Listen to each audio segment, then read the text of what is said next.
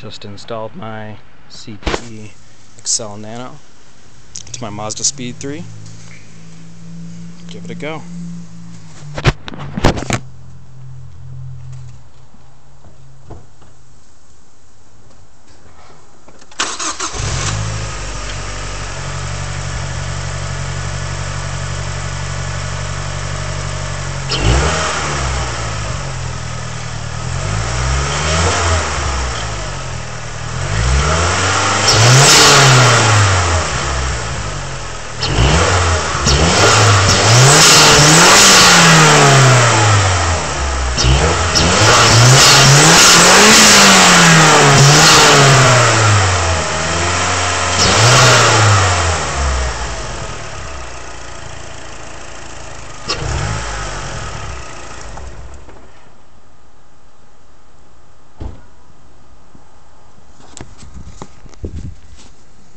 Sounds pretty good if you ask me.